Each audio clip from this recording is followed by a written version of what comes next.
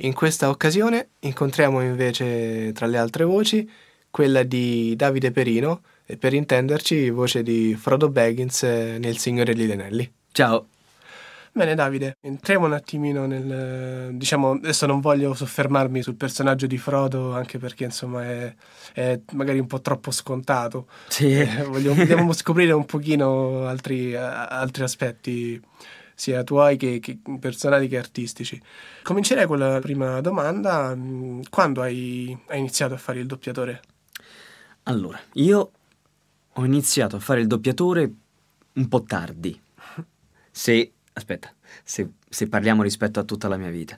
Mm-hmm. Perché ho iniziato a fare l'attore, comunque lavorare nel cinema, quando avevo due anni e mezzo. Ho iniziato con un film che si chiamava Magic Moments con eh, Sergio Castellitto e Stefania Sandrelli per mm-hmm. la regia di Odorisio. Eh, poi da lì ho fatto trasmissioni, pubblicità, eh, serie te- televisive, personaggi di puntata, un sacco di cose, sfilate, ho fatto Donna sotto le stelle. Mm-hmm. Con Ornella Muti ho sceso le scale del, di Piazza di Spagna, poi un anno di trasmissione con la Bonaccorti che si chiamava Pronto chi gioca.